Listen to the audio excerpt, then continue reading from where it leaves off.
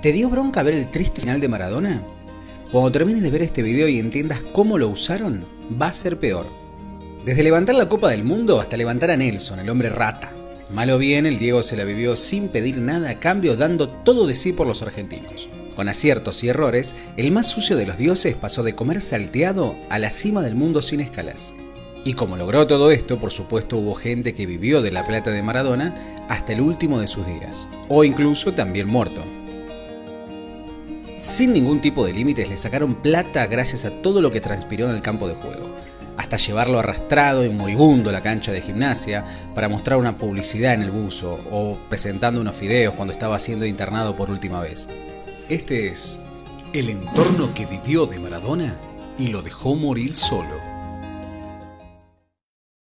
Víctor Stinfale, abogado, el jefe de la banda. En las últimas disputas legales representó a Maradona. Cobró notoriedad por ser defensor de reconocidos hinchas vinculados con los Barrabravas, desde el histórico José Barrita, el abuelo de Boca, a William Schlenker, de River.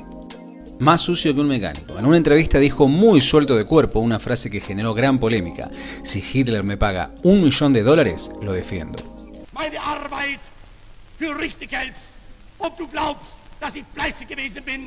Por eso también fue abogado de lindos personajes, como por ejemplo Luis, el gordo valor, y también el traficante de armas sirio, Monser Alcazar.